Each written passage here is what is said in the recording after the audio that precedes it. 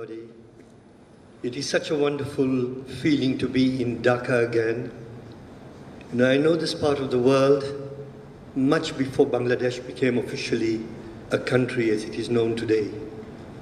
Because in the height of the wind of change, when uh, Kenya was gaining its independence, there was a young law graduate, long, young law student from Lahore, who used to come to Kenya very often. We used to go to parties together. We were what we would call, you know, party animals. And uh, today I want to say that uh, Wajid Ali Pani and myself have been friends for over 50 years. And so this part of the world has always been home to me because every time I used to come here, uh, there was a standing order that before I went back to the airport, I had to have breakfast with him, and then uh, his car would take me back. And thank you, Wajid.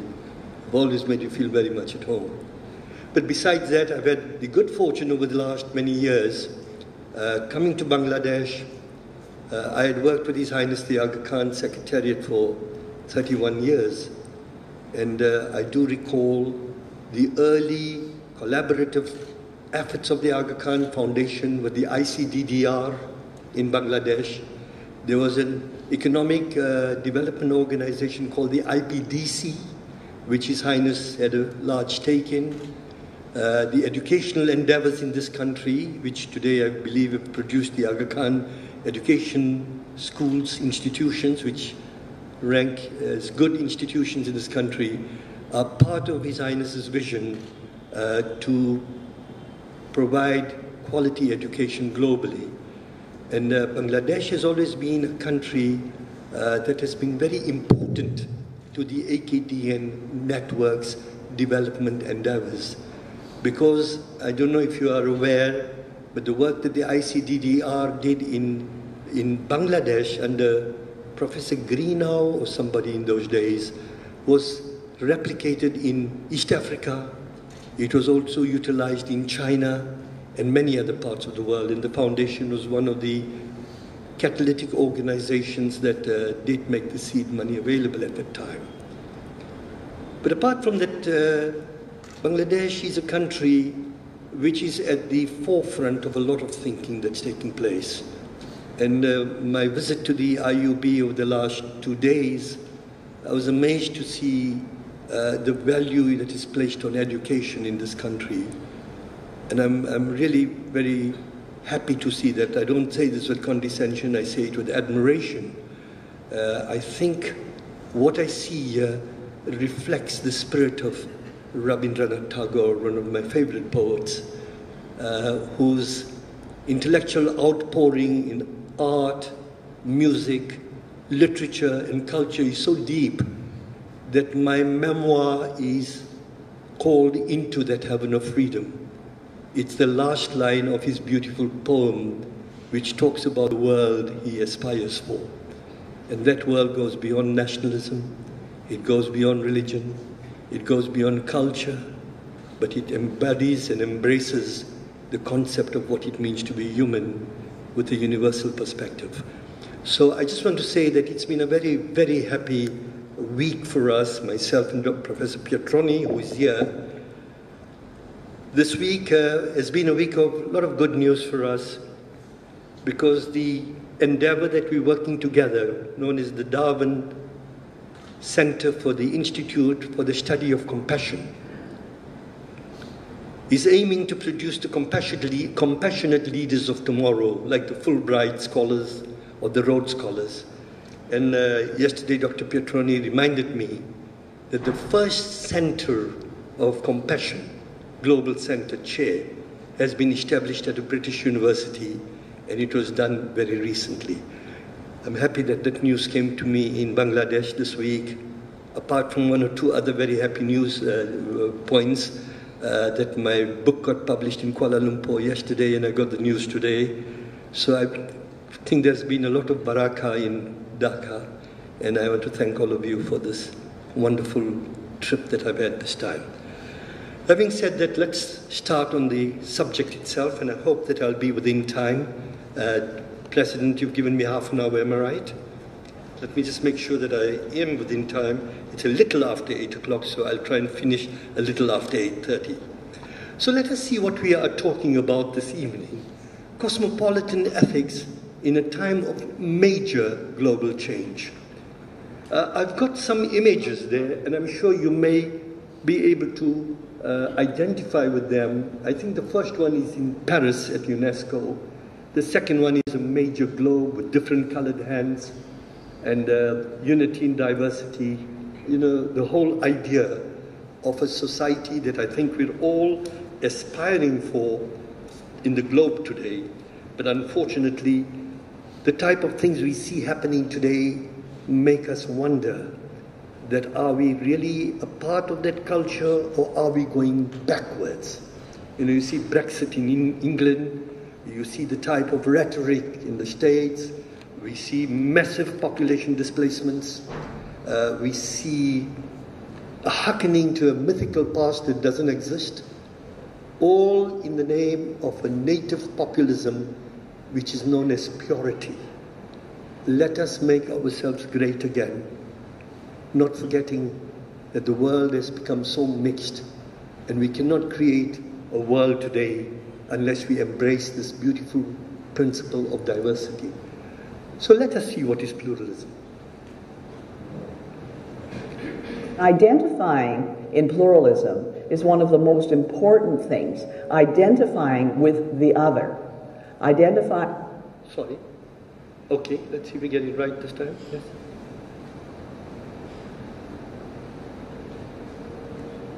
Identifying in pluralism is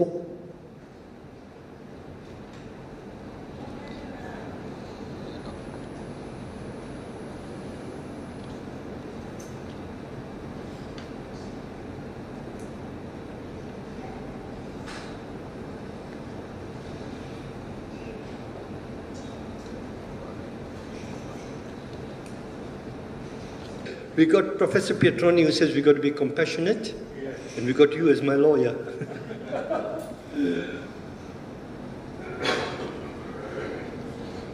Identifying in pluralism is one of the most important things. Identifying with the other, identifying with that person who is not you and who would never be you because they may be another color, another race, another religion, have other cultural values, that recognition that they are they and you are you is terribly important, and that is the basis of pluralism. Respect for press freedom, it seems to me, grows out of a respect for pluralism as a cornerstone of peace and progress. Pluralism implies a readiness to listen to many voices, whether we agree with them or not and a readiness to embrace a rich diversity of cultures. That was His Highness at one of the public lectures he gave recently. So you may now ask, why pluralism? What is this notion of listening to the other even if we do not agree with him or her? Well, Sheikh Mohammed bin Rashid al Maktoum in the Middle East, in UAE, said tolerance is the basis for building societies and promoting values of peaceful coexistence today. We need to be more tolerant and united to face the changes happening around us. His Highness mentions pluralism is no longer simply an asset or a prerequisite for progress, but vital to our existence. So it's no longer a choice. We cannot have peace unless we are pluralistic. Now, what causes all this? Globalization. What is it?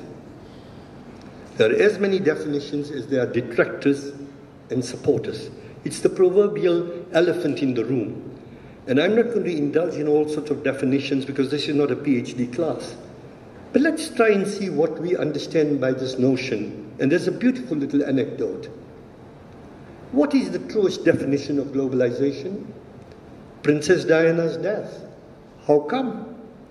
An English princess with an Egyptian boyfriend crashes in a French tunnel driving a German car with a Dutch engine, driven by a Belgian who was high on Scottish whiskey, followed closely by Italian paparazzi on Japanese motorcycles treated by an American doctor using Brazilian medicines. And this is sent to you by an Indian using American technology. And you are probably reading this on your computer that uses Taiwanese chips and Korean made monitors assembled by Bangladeshi workers in a Singapore plant, transported by lorries driven by Pakistanis, hijacked by Indonesians, unloaded by Sicilian longshoremen, and trucked to you by Mexican illegals. That's globalization.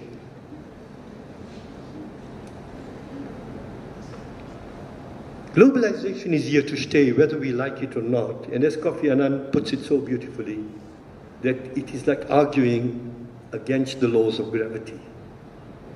And he's a member of the International Board of Directors for the Global Center of Pluralism, which you may know is now situated in Ottawa, and he's now studying the pathology of conflict globally and going into new areas of conflict resolution, uh, which has not really been studied so deeply before.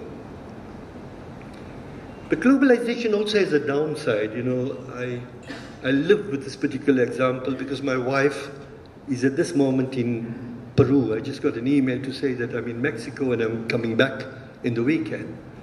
Uh, she is setting up clinical programs in various parts of the world, and she reminds me that the millennial goals are receding because TB still ranks as the leading cause of death worldwide. Estimated incidence is 9.6 million people, uh, 1 million children, and 12% are HIV positive. Only two thirds of this, these are reported. TB killed 1 million people in that one year with 140,000 children. And yet it costs about $20 to cure a person of tuberculosis.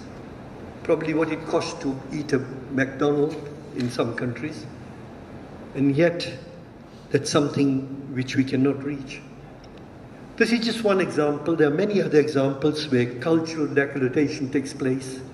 Uh, uh, they reckon there are a couple of thousand languages that will just totally be defunct because people are now losing their cultures.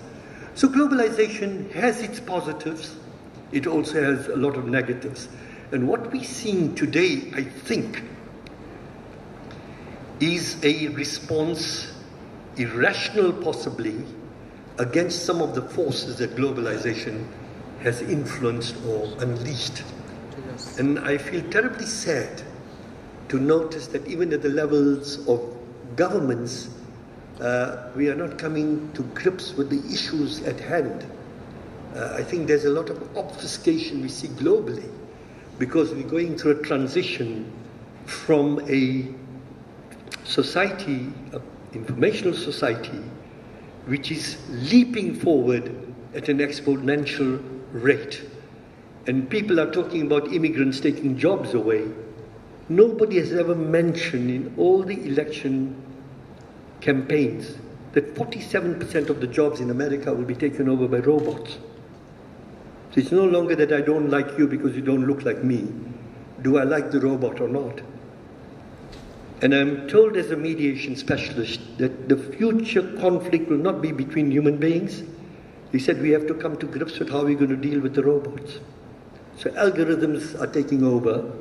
And if you look at the global exponential rate of growth, there are three areas that are changing the force, the nature of life climate change, globalization, and exponential technology. These are the three major drivers of where the world is going to move in the next few years. So, what are the conflicts that are arising? Well, we see tsunami, we see genocide, we see terrorism, we see viruses. We have no real solutions unless we all work together.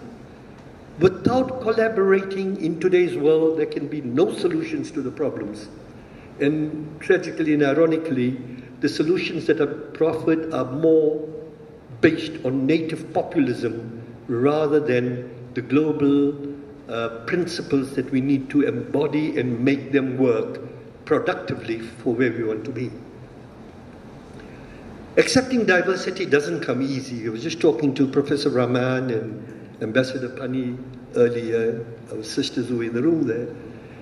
I lived in South Africa at a very, very difficult stage of its evolution. Uh, there is Nelson Mandela had to spend 10,000 days in prison before we could keep our head up that we were human beings. Apartheid had to be dismantled, but it took a man 10,000 days to be in a jail cell the size of his own body, but he refused to give up. So racism doesn't go away.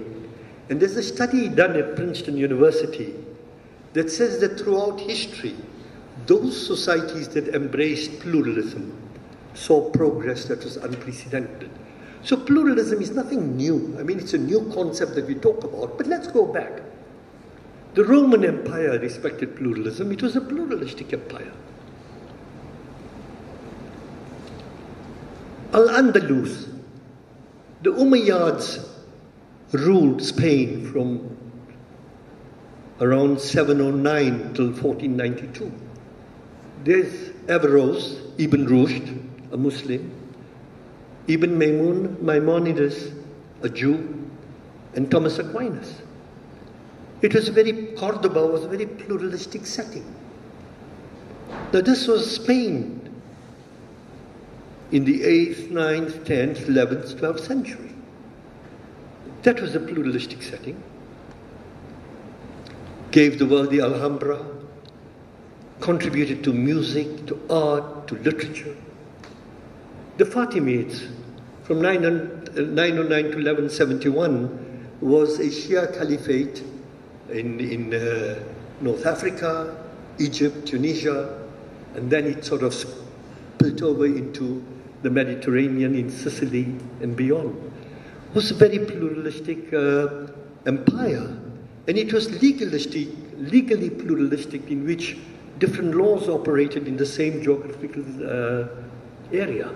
And it its influence extended right up to Central Asia, to what is today uh, Tajikistan, Kyrgyzstan, Uzbekistan, and uh, produced some very outstanding people. One of the greatest uh, poets of Tajikistan, Nasser Khusro, uh, was a product of that period. The Ottoman Empire, it embraced different cultures and ethnicities. It engendered pluralism. This is what I was discussing today. We were discussing with Professor Pietroni, whose family comes from the Ottoman Empire. It was a very, very pluralistic polity. Uh, the Jews, there were Christians, there were Muslims, there were Turks. Uh, again, a very rich empire with a, a pluralistic ethic. More recently, we see examples of Canada and the United States. Fortunately, it's a shaky concept. I'm a Canadian.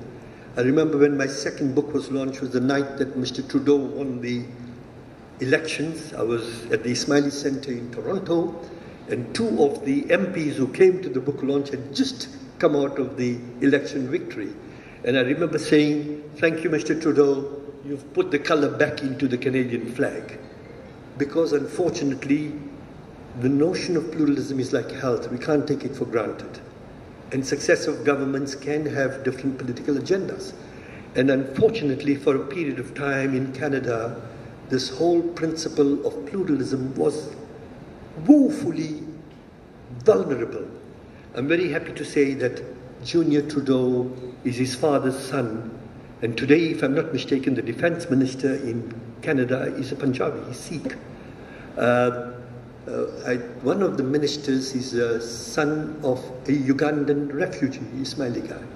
Uh, the mayor of Calgary is uh, Nenshi, whose mother brought him in a shawl when, he, when they had to run away from Uganda.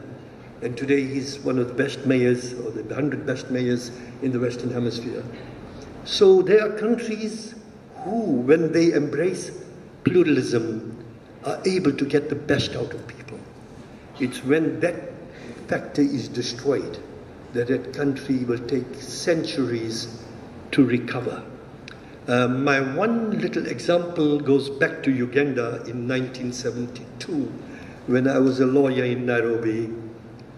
There's a young man from Uganda called Professor Karim who was the world expert on prostaglandins, a hormone that is used in uh, stimulating uh, childbirth. I'm not a medical man, I hope I got it right. The man, Idi Amin, said he wants the Indians out of Uganda in 90 days, otherwise they will end up on the Nile. in the stomachs of the crocodiles. Professor Karim got on the plane, and when they realized who he was, the army people came in and said, You can't leave, you are a Ugandan. But he said, Am I a Ugandan or am I an Indian? What am I? They said, No, no, no, no, you're a Ugandan. So they pulled him out and took him off. His wife and children had already left the country. Eventually, where does he find himself? In Singapore. Lee Kuan Yew heard that this was the world's authority in prostaglandins. He invited Karim to the University of Singapore and gave him the head of the Department of Biochemistry. And when Lee died, they said they quoted this particular example that here is a society that did, does respect meritocracy.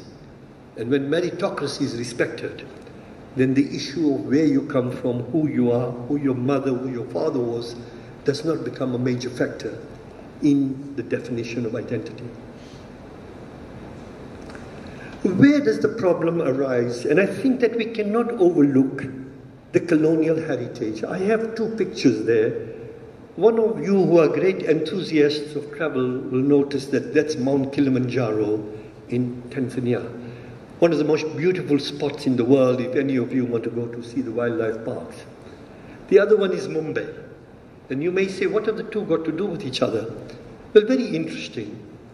Mount Kilimanjaro was given by Queen Victoria to her grandson Kaiser Wilhelm as a birthday present.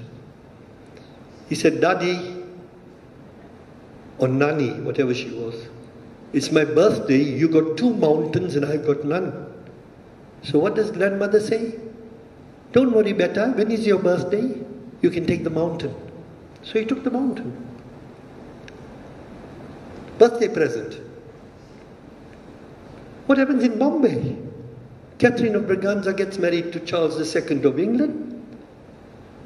You call it Dej? I don't know what you call it in Bengali. The woman has to bring something into the marriage. So she brings Bombay along. And I think they threw in 10 years as an extra. Now you ask yourself, what does this mean to nationalities, to peoples, to boundaries, to cultures? So you find in Tanzania, during the First World War, the Maasai's, half of them were in Germany and half were in British. And incidentally, Germany and Britain were fighting each other because they were both grandchildren of Queen Victoria.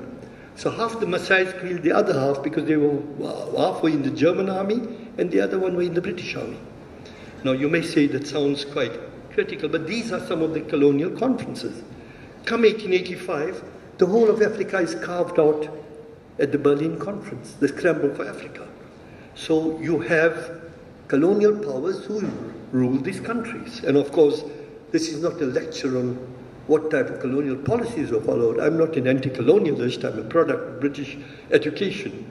But I think we can't overlook the fact the problems today do last, do reside in the politics of yesterday. This is global. Decolonization Africa and Asia. If you see the first photograph, some of you are old enough to realize that in 1955 you had the historic Bandung Conference that led to the decolonization of Africa, Jawaharlal Nehru, Kwame Nkrumah, Jamal Abdel Nasser, Sukarno, and Tito. These were the great protagonists of the decolonization of Africa, and of course, Nehru was uh, playing a major role at that time because India had just become independent and uh, played a very critical role in third world uh, thinking. That picture there, of course, is Kwame Nkrumah and Martin Luther King. Uh, again, a remarkable man for his contribution. Fast forward, that's 500 years later after I spoke about the seeds of conflict in the earlier part. What are the unresolved issues that the world has to now contend with? The Middle East, great spot, Kashmir, many parts of Africa, Latin America, the ex-Soviet Union. And incidentally, I mean, this uh, PowerPoint was put together some time ago, maybe a few months ago. But I went to a, a, a meeting last week in England, the Universal Federation of Peace evening, where Humphrey Hawksley gave a talk And he says the next big conflict area is writing a book called Asian Waters. And he says the next war are maritime wars for influence in the whole of the continents. And it's all in Asia. Five major trigger spots he's mentioned are in Asia. So those are some of the unresolved issues, and they go back to the Opium Wars, they go to what Japan did in Manchuria, 1941, uh, India and China, northern uh, uh, parts. Uh, all those are major. Taiwan, 1949, these are major areas. And Humphrey Hawksley's book that comes out, I believe, is going to be very, very fascinating to have a look at. Uh, I found his analysis very, very riveting for those of you who are interested in that. Contemporary expressions of the problems, genocide.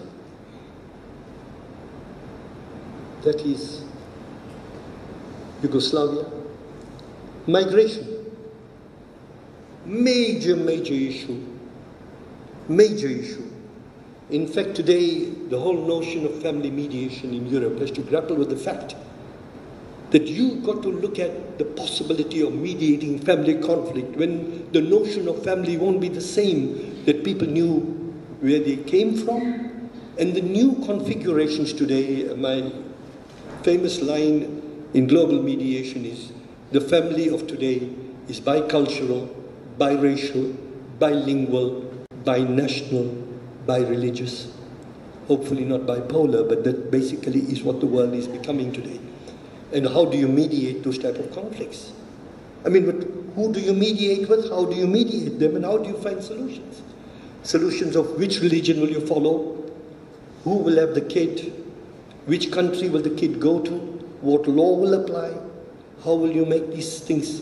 And I was telling somebody about this, and they said, No, but this will happen in the future. I said, It's happened yesterday already. There's nothing like future. The future's arrived already.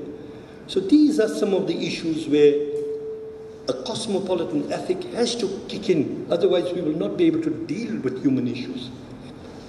Now that's not enough, as if we didn't have enough problems, starting with what Christopher Columbus and Vasco da Gama did. We have new problems. We have the digital revolution, Moore's law. Every 18 months, your computer has double the power and capacity with the result that today computers have outstripped the human brain by a billion to one.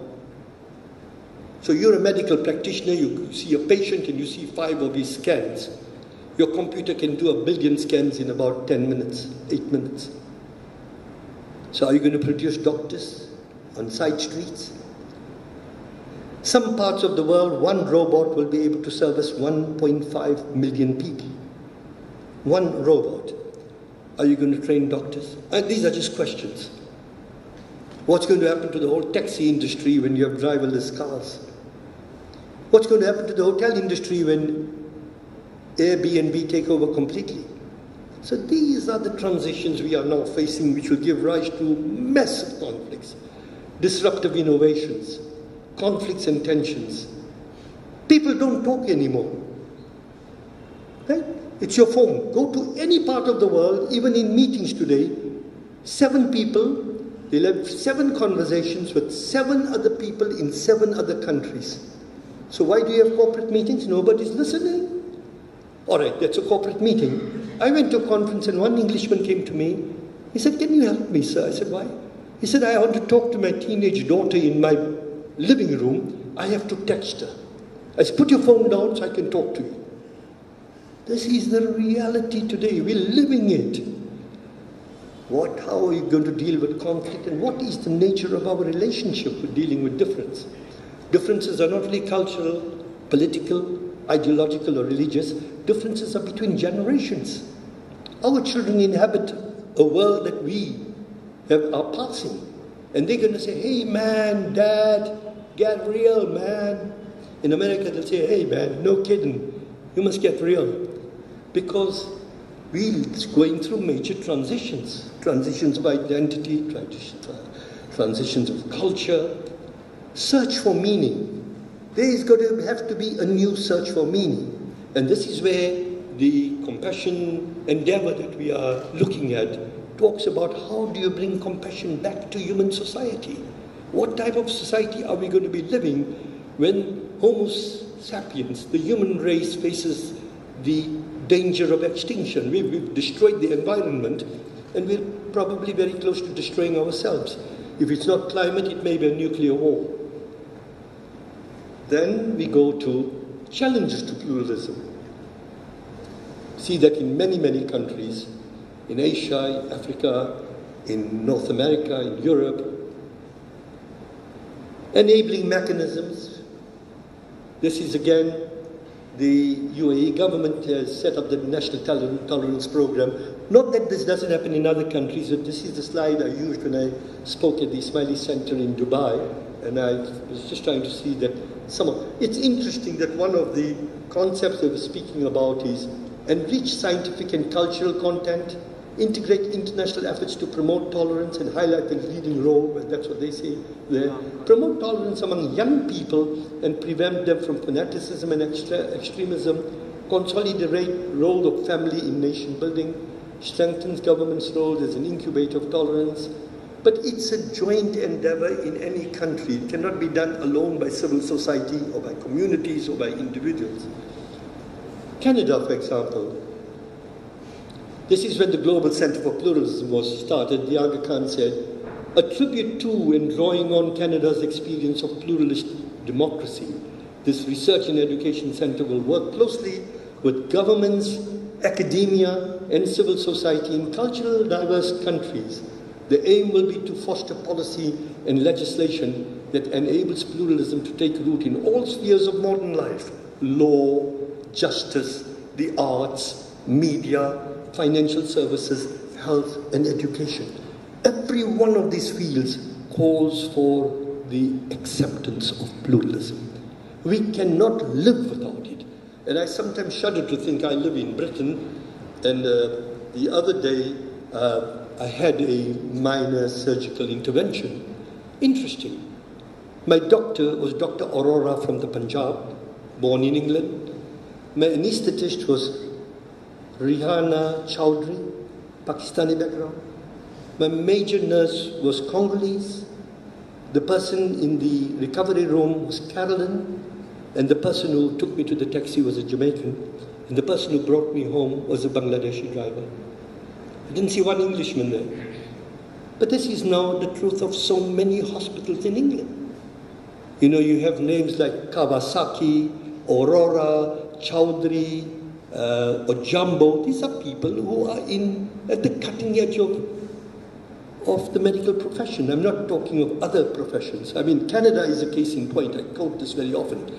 The world's leading lung and transplant surgeon in the world, the person who did the first operation that succeeded, was the East African little boy who came at the age of 14. The leading brain surgeon today who removes a tumor through the nose is the son of a Ugandan refugee. The man who promoted the whole notion of the clubfoot technology was thrown out as a little kid. He had polio when they threw him out. And ironically, he went and he pioneered this new uh, technology at the Mulago Hospital in Kampala as he grew up, saved 10,000 kids from the same problem. So I think there is a lot in pluralism. What are the ways forward? President, do I have another seven minutes? A more robust civil society. Critical. And indeed, more meaningful education. Now, what do we understand by more meaningful education.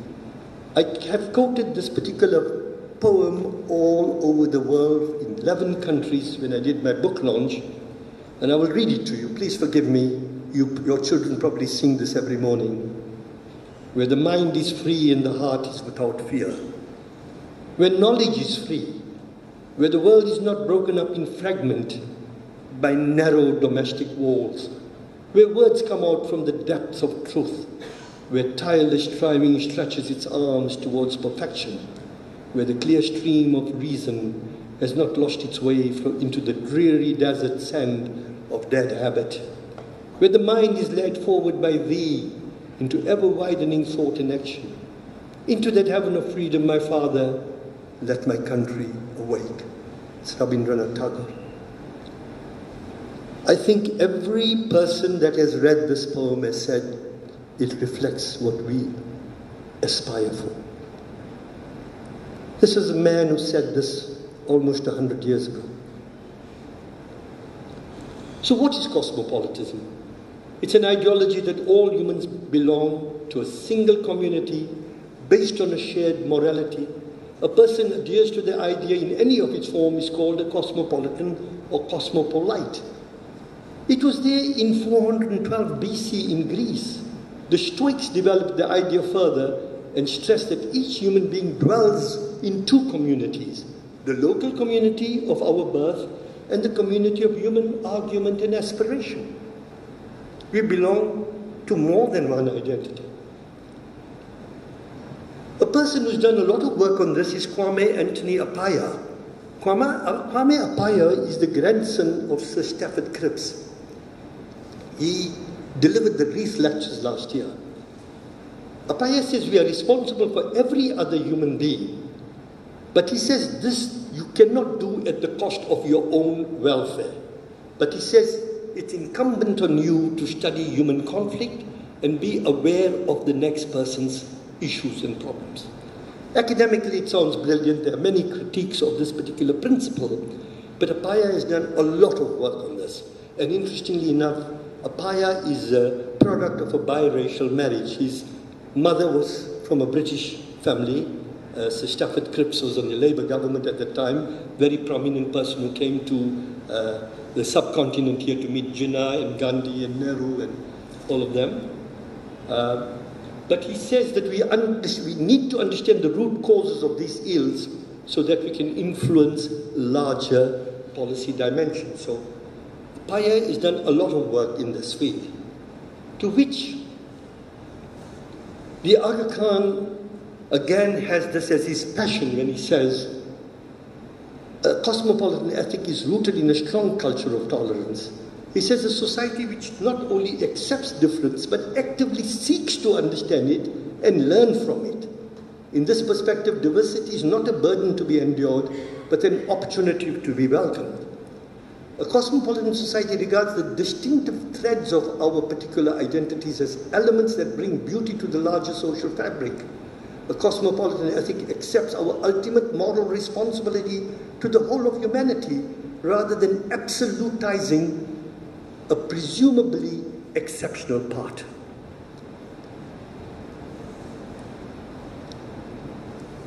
A readiness to participate in a true dialogue with diversity a readiness to listen. He said we sometimes look, talk too much about how we are all alike, that we neglect the wonderful ways in which we can be different. Abstract universalism gives me gives rise to an unhappy counter reaction. He says there are challenges. Let's not be, what's the word in English, uh, blue-eyed and bushy-tailed. I mean, let's be real. He says, let's be real. There are challenges. It doesn't come automatically. He said we need to respect both what we have in common and what makes us different. What are the challenges? The problem of economic insecurity. It's going rampant right through the world. If you read Noam Chomsky's recent book, where he says uh, despair or, or optimism, read Matthew d'Ancona post truth Thomas Friedman. This is the psychosis of fear that's driving most of native populism today in many countries. Economic insecurity. Advances that paradoxically create problems, longevity through technology. Need for leadership, information explosion. There's a lot of uh information, there's, very, there's more noise than signal today. Need for quality education resonances with the world's great ethical and religious traditions, so beautifully encapsulated in the Quran, where it says, O mankind, fear your Lord, who created you of a single soul, and from it created its mate, and from the pair of them scattered abroad many men and women. Cosmopolitan ethic is one that will honor both our common humanity and our distinctive identities, each re- reinforcing the other as part of the high moral calling. And what Aga says, He says we should not embrace cosmopolitanism because we think it's convenient. You embrace it as part of the notion that your own being is entangled with the being of the other through the process that we do. We are all created from a single soul. It's, it's basically your understanding who you are. And that is beautifully encapsulated in the Quran where it says, O mankind, be careful of your duty to your Lord who created you from a single soul and join your hearts in love so that by his grace you became brethren. And there's a second one which says, We have created you male and female, made you nations and tribes that you may know one another. The noblest of you in the sight of Allah is the best in conduct. Allah is knower, aware. Basically, this is a major discourse. I'm also very excited to mention to you that uh, when I was uh, so privileged to, uh, to receive the Gandhi Award, uh, a great admirer of Mahatma Gandhi, I'm also a great admirer of Martin Luther King and Dr. Ikeda. There was a roundtable conference that was held in America in which I participated. And uh, one of the things that came out in this discourse, uh, there were five major academics that participated. Uh, Lawrence Carter of Morehouse College said that we need to we need to teach our children about this for tomorrow. And so I got up and I said, why don't we have a book of the deliberations? And he said, that's a good idea. and so we got some volunteers together. And I also got the news this week. It's being taught for the first time in America to undergraduates at Morehouse College, which is Martin Luther King's alma mater. That they want to now teach American kids at the undergraduate level the notion of cosmopolitanism in a globalized world.